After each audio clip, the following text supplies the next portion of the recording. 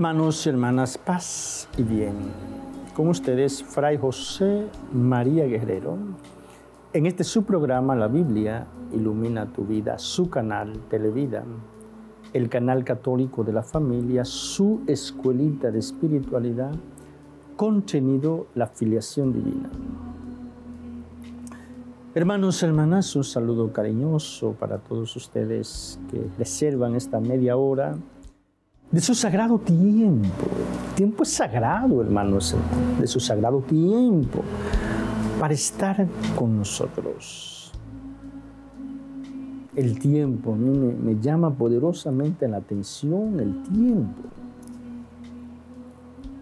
El tiempo de movimiento permanente. El tiempo.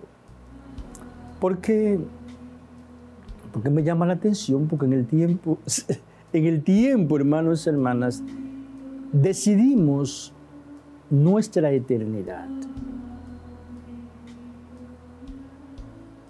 Por eso es tan importante el tiempo, sobre todo para la conciencia creyente, nosotros que creemos en la eternidad. Porque para un ateo, usted se murió y ya Usted se murió y ya, ya. Usted dejó de existir y ya no hay más. Usted dejó de existir y ya no hay más. Pero la verdad nos revela otra cosa. Usted dejó de existir en el espacio, en el tiempo, en las coordenadas de la historia. Entonces comienza otra dimensión, la eternidad. Una eternidad dichosa con Dios, con el existente, o una eternidad frustrada. Una eternidad frustrada. aprovechemos el tiempo, hermanos y hermanas, para ganar la eternidad dichosa. Ganar la eternidad dichosa. O aprovechemos el tiempo. No hay tiempo para perder el tiempo, es esta consigna, hermanos hermanas, en nuestra escuelita de espiritualidad. Decirles, hermanos hermanas, que aprovechemos algo sumamente importante que tenemos en esta media hora de este su programa La Biblia ilumina tu vida la bendición. Porque está bendiciendo Dios. No es lo mismo una bendición que da Fray José, una bendición que tiene poder. Pues no es lo mismo una bendición que yo doy, una bendición que da Dios. Se aprovecha esta bendición, hermano, cuando yo estoy bendiciendo, con el Santísimo. Pide la bendición para tu familia, pide la bendición para tu esposo, pide la bendición para tu esposa, para tus hijos, tus niños. Pídele a Jesús que proteja a tus niños en el colegio de toda contaminación extraña ¿Cuántos niños a tempranísima edad están perdiendo su inocencia sexual? Pídele a Jesús la protección de tus niños. Que bendiga tu embarazo. Pídele a Jesús la bendición para tus enfermos.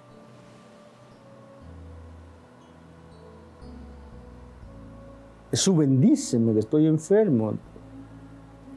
Recupera tu salud.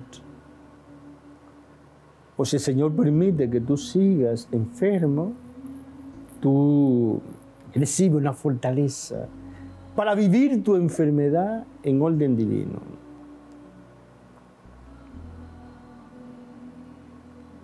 El Señor no siempre, Él tiene el poder, pero no siempre cura a los enfermos. Te aprovecho mi enfermedad para crecer en santidad. Te pídele que dé la salud y si es su voluntad no darte la salud, sí que te dé la fuerza para tú vivir esa enfermedad en su orden divino y aprovechar tu enfermedad para crecer en santidad. Si aprovechemos, hermanos, hermanas, la bendición que damos con el Santísimo. Aprovechemos esa bendición. Bien, hermanos hermanas, nuevamente compartir con ustedes hoy sábado este deseo que tenemos rapidísimamente de que, en todas las parroquias tengamos ya la, el rezo del cenáculo. Porque esto es todos los sábados, una vez todos los sábados. Un día a la semana, los sábados, en honor a María Santísima. Que esto se cumpla pronto, ya en vista a algo mayor, la oración perpetua. De, démonos prisa, hermanos y hermanos, que ya en todas las parroquias de República Dominicana tengamos, eh, tengamos el cenáculo, en vista a lograr la adoración perpetua. El cenáculo lo queremos todos los sábados, todos los sábados, preferiblemente a las seis de la mañana temprano, pensando en los párrocos y terminar con la misa y eso será, hermanos, hermanas, un saltito cualitativo del gran salto que, que queremos dar con la adoración perpetua. Pues repito, todos los sábados, hermanas, hermanas, en todas las capillas de República Dominicana, en todas las parroquias de República Dominicana, y comenzando por el, por el obispo o el arzobispo en su catedral, comenzando por la cabeza de la diócesis, que es el obispo, que es un apóstol. El obispo es un apóstol. Un apóstol. Ningún obispo tiene como el derecho de decir, yo soy San Juan, no. Yo soy Santiago, no. Eso solamente le pertenece a Pedro. Esto es una cosa hermosa de la iglesia, ¿verdad? Ningún obispo puede decir, yo soy Juan. Yo soy Santiago, yo soy San Mateo. No, no, no. Solo a un obispo se le está permitido decir yo soy Pedro.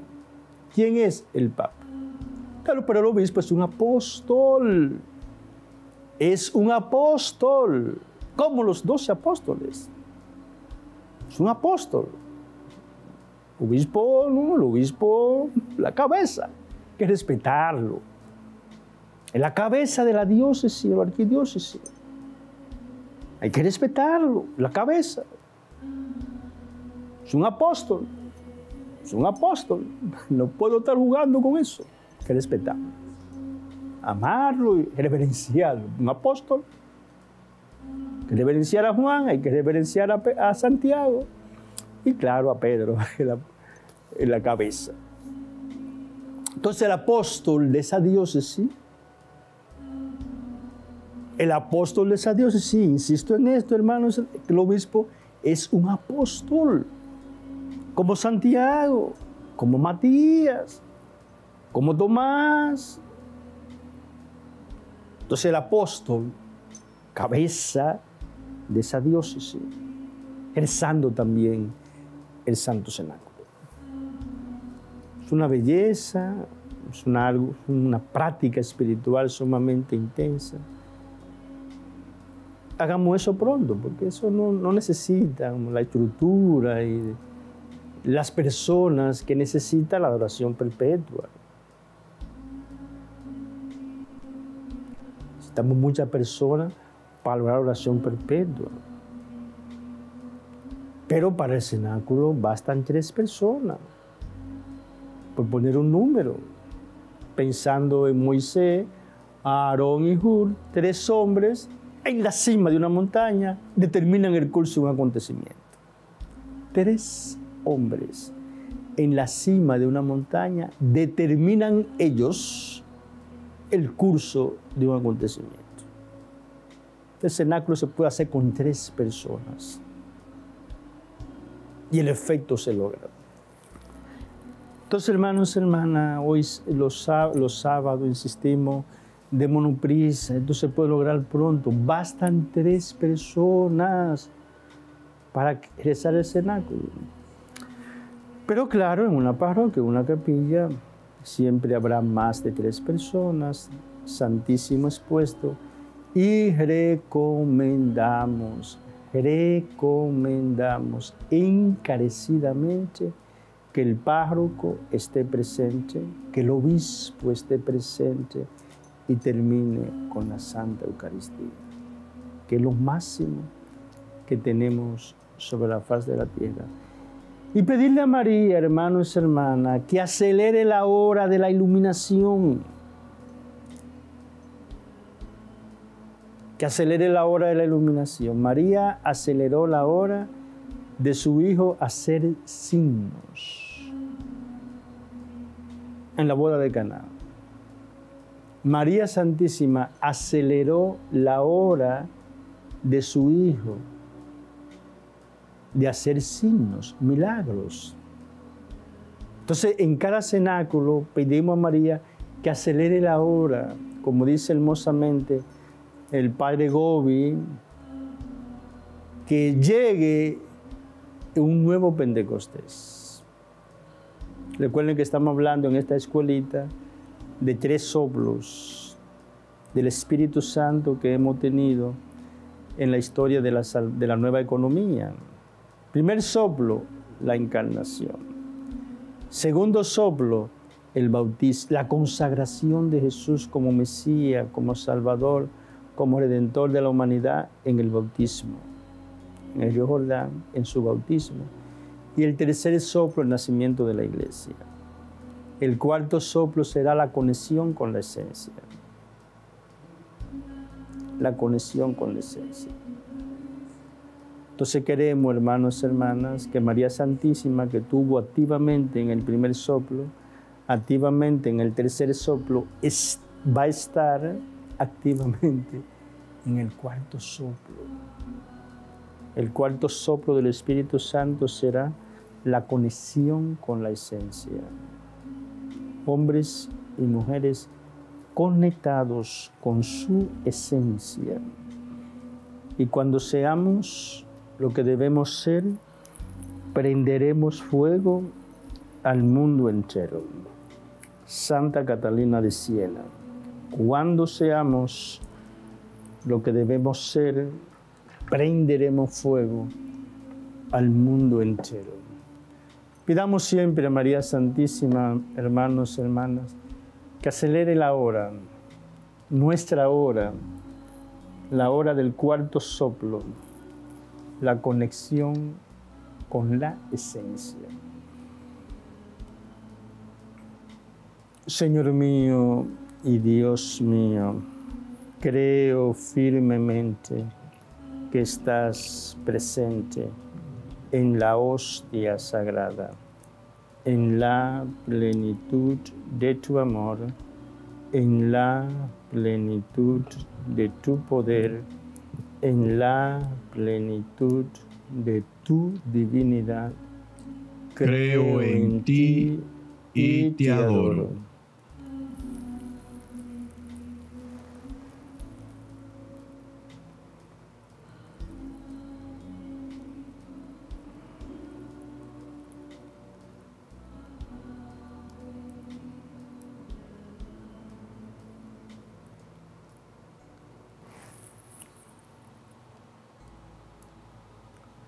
Padre infinitamente bueno, infinitamente santo, infinitamente amado, concédenos el don del Espíritu Santo para que durante la jornada de este día podamos pensar, hablar, sentir, imaginar, y actuar como hijos tuyos a imagen de Jesucristo, tu Hijo amado.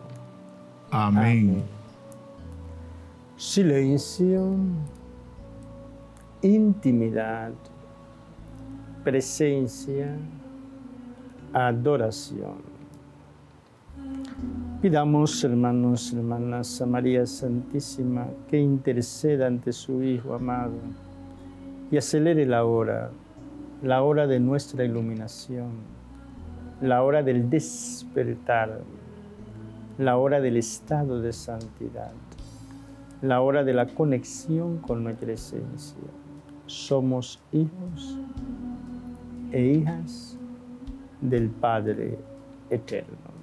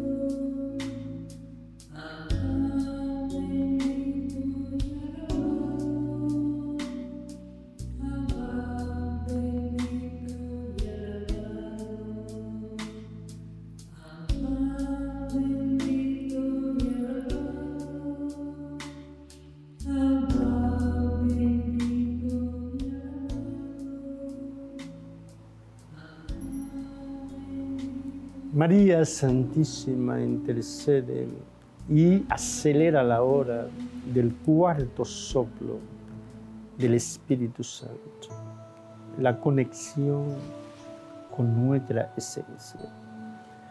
Dios te salve María, llena eres de gracia, el Señor es contigo. Bendita eres entre todas las mujeres y bendito es el fruto de tu vientre Jesús.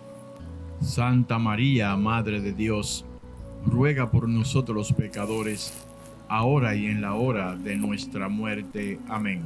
Gloria al Padre y al Hijo y al Espíritu Santo. Como era en el principio, ahora y siempre, por los siglos de los siglos. Amén. María Santísima, Virgen de la Altagracia, protectora del pueblo dominicano, ruega por nosotros. María Santísima, Nuestra Señora de las Mercedes, patrona del pueblo dominicano, ruega por nosotros. Amado, eterno y adorado Jesús, Hijo del Dios vivo, eres el buen samaritano que nunca pasa de largo ante una necesidad humana. Te suplicamos por la intercesión de María Santísima de San José que tú pongas en cada televidente, en cada miembro de su familia, el vino que tú sabes le hace falta. Tú que vives y reinas por los siglos de los siglos. Amén.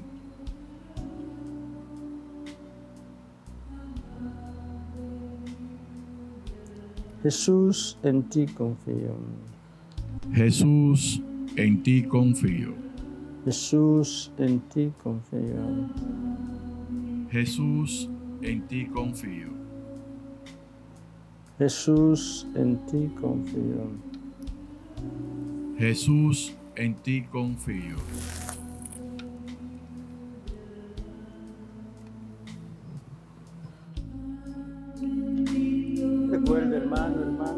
Bendición para tu esposo, tu esposa, tus hijos, tus hermanos, tus padres, trabajo, proyectos, tus estudios. Jesús quiere bendecirte en toda tu vida. Que nada quede fuera de la bendición de Jesús.